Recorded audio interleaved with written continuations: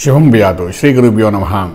మిథున రాశి వారికి నవంబర్ ఒకటో తారీఖు నుండి పదిహేనవ తారీఖు వరకు ఏ విధంగా ఉంటుంది అనే విషయాన్ని విశేషంగా తెలుసుకుందాం. మిథున రాశిలోనే రాహు ఉండడము అదేవిధంగా చతుర్థంలోని కుజుడు పంచంలో రవి అదేవిధంగా షష్ఠస్థానంలో గురుడు సప్తంలో శని యొక్క ప్రభావం కేతు ప్రభావం కనిపిస్తుంది. అయితే నవంబర్ ఐదో తారీఖు నుండి గురుడు ఎప్పుడైతే ప్రవేశిస్తాడో ధనుర్రాశిలోకి అక్కడ నేరుగా పోయి మిథున రాశిని చూస్తారు కాబట్టి భార్యాభర్తల మధ్య అన్యోన్యత పెరగడానికి అవకాశం బాగా కనిపిస్తుంది.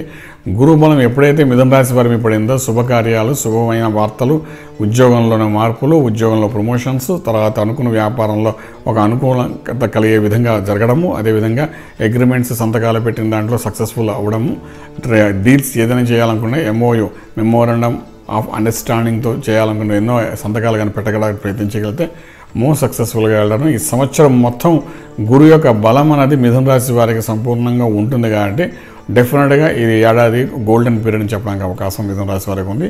అందులో ఉన్న ఆరుద్ర నక్షత్రం తీసుకోండి. అదేవిధంగా పునర్వస నక్షత్రం మృగశర మూడు నాలుగు పాదాల వాళ్ళు తీసుకోండి.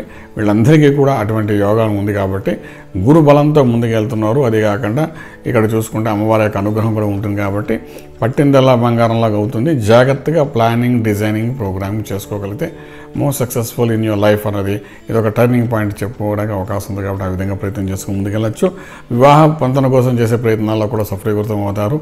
ఈ కన్స్ట్రక్టివ్గా ఏమైనా చేయాలనుకున్నా ఇల్లు కట్టాలన్నా లేకపోతే ఒక స్థలం కొనుక్కోవాలన్నా లేకపోతే ఒక అగ్రెసివ్గా ఏమైనా యాక్టివిటీస్ స్టార్ట్ చేయాలన్నా కూడాను ఒక కంపెనీ ఇండస్ట్రీ స్టార్ట్ చేయాలనుకున్నా ఇటువంటి వాటన్నిటి కూడా ఈ సంవత్సరం అంతా అంటే స్పెసిఫిక్గా గురుడు మారడంతో సంవత్సరం అంతా బ్రహ్మాండంగా అద్భుతంగా ఉండే అవకాశం ఉంది కాబట్టి పట్టిందలా బంగారంలా జరుగుతుంది.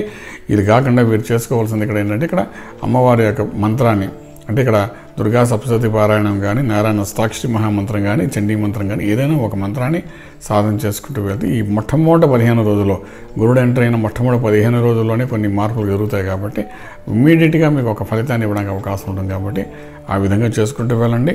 రాజకీయ రంగంలో ఉన్న వాళ్ళకి కొంచెం మంచి పేరు సంపాదించుకోవడానికి అవకాశం కనబడుతుంది. అలాగే మనం తీసుకున్నప్పుడు రియల్ ఎస్టేట్ చేసే వాళ్ళకి కానీ ట్రేడింగ్ చేసే వాళ్ళకి కూడా ఆర్థిక బలం పెరిగే అవకాశం బాగా కనిపిస్తుంది.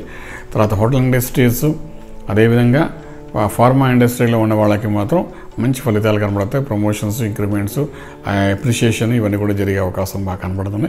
ఏదైనప్పటికీ అమ్మవారి అనుగ్రహం పొందడానికి ఆ మంత్ర సాధన చేయండి. రాజమార్గంలో రాజ్యం పొందగలుగుతారు.